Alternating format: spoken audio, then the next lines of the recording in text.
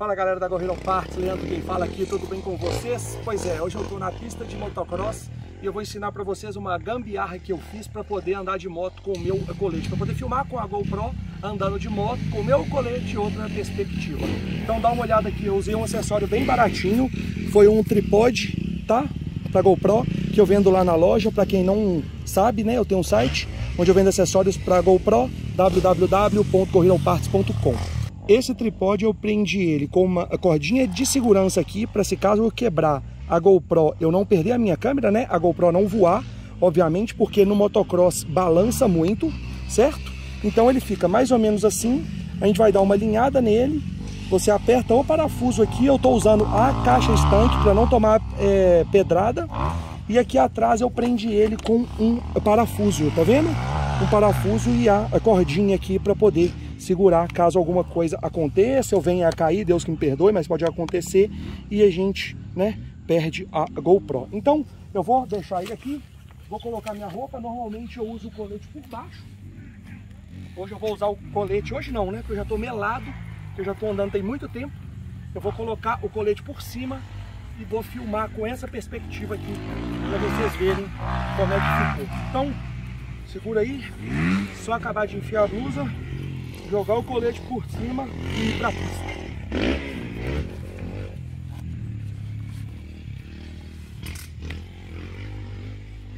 Tomar uma aguinha antes, porque hidratar, né? Nunca é demais.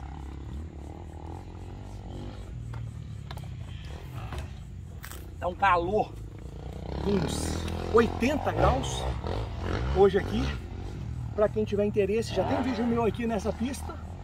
É em Santa Luzia, chama Trilhas da Serra, em Minas Gerais, tá? É uns 50 quilômetros de onde eu moro, de Belo Horizonte. É uma pista, uma das melhores pistas que a gente tem aqui na região, com a melhor estrutura. Mostra lá pra eles. Tem um bar ali, que é bem legal, dá pra trazer família, tem banheiro limpinho e tudo, mas normalmente a gente fica aqui debaixo das árvores mesmo, só... É, a gente faz o nosso cantinho aqui, digamos, né? Então ficou assim, ó. Ficou assim. Eu pus o meu capacete antes. Não tá escuro não? Certeza? Tá ótimo, mesmo. Tá bom.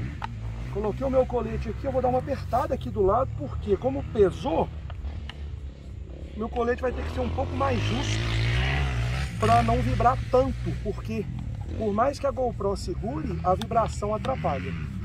Beleza? Eu vou apertar de um lado e do outro para ficar uniforme. Eu gosto de andar com ele mais soltinho não vai ser o caso. Colocar para filmar. Vê se tá filmando aqui pra mim, fazendo um favor. Tá piscando, tá gravando? Tá. Então fechou. É isso aí, galera. Eu tô filmando 1080 por 60 frames. Super view e com estabilização. Beleza? Vou lá dar um rolê, fazer um vídeo para vocês verem como é, que, como é que vai ficar as imagens e a partir de agora vocês seguem o vídeo. Calma aí. Calma aí.